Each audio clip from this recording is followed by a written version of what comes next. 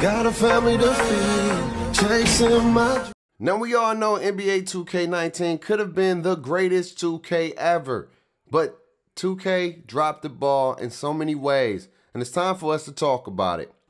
What's good? It's your boy Bake. Welcome back to my channel. If you like NBA 2K how-to tutorials, jump shot videos, live stream, and you like to talk about the NBA, make sure you hit that like, comment, and subscribe, and turn on your notifications if you want to be part of Cook Up Nation. Alright, now, today we're going to be talking about five things that really killed NBA 2K19 this year.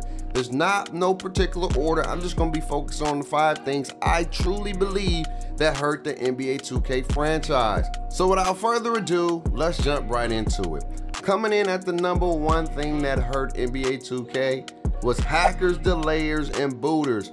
Man, 2K had an amazing idea this year with giving us more opportunity to get a limited rep, get VCs, and get more perks.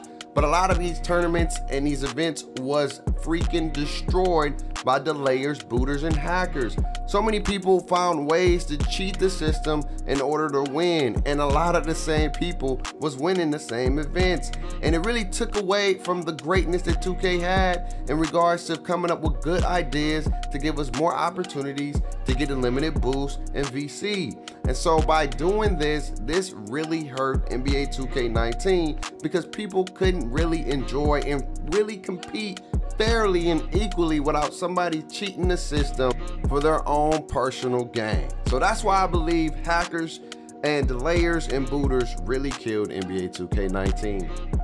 Coming in at the number two spot, man, archetypes and badges really killed NBA 2K19. The archetypes in this game was so unbalanced. You had stretch bigs being able to dribble like point guards, lockdowns, being, being able to shoot threes consistently like sharpshooters, and post scores and shot creators being able to fade and have no shot contest whatsoever, man.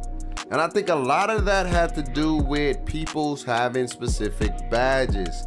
Hey, try to play a game without any of your badges, and I guarantee a lot of stuff that a lot of people get away with, it won't happen because badges in this game are so overpowering and they bail out so many players that have no skill whatsoever.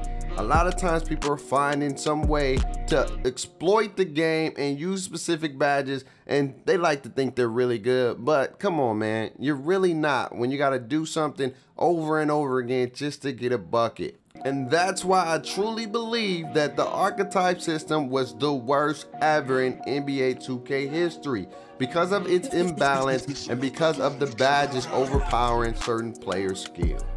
Coming in at the number three spot is the rep system. Man, 2K did a number on us again because they made us play countless hours against bots and AI just to get 99 overall and get all these rep rewards. They dropped the ball tremendously, taking away the opportunity for the community to play with each other they had to go into my career and grind and grind and grind. And you wasn't even rewarded on playing good. You was rewarded on spamming certain things to get the most experience points in the game.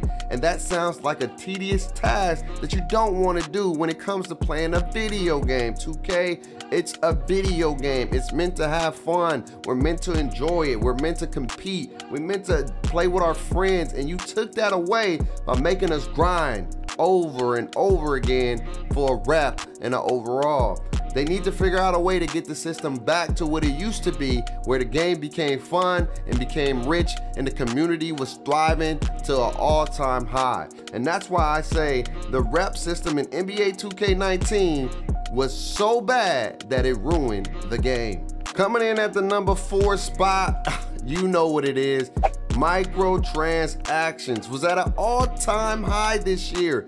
This year was one of the worst years, man, because we had to buy outfits for each and every different characters. We had to buy the animations over. We had to buy the jump shots over. We had to buy the shoes over. Come on, 2K. And not only, not only did we have to buy these things over, but these things were so expensive. Shoes cost damn near 5K VC. Hoodies cost 10k VC. VC is not cheap in this game, and we had to continue to buy microtransactions, spend money time and time again for each player, for each mode, just to be able to enjoy this game. It was the worst ever 2K, and I think you gotta figure something out. If you're gonna continue to do microtransactions, VC has to be cheaper. VC has to be more accessible. Give us more opportunities to win VC without having to pay a hundred dollars or a pretty price just to get the some clothes, the shoes, and things like that, man. And that's why I say microtransactions ruin NBA 2K19. And the last thing I believe that killed NBA 2K19 was the glitches, man.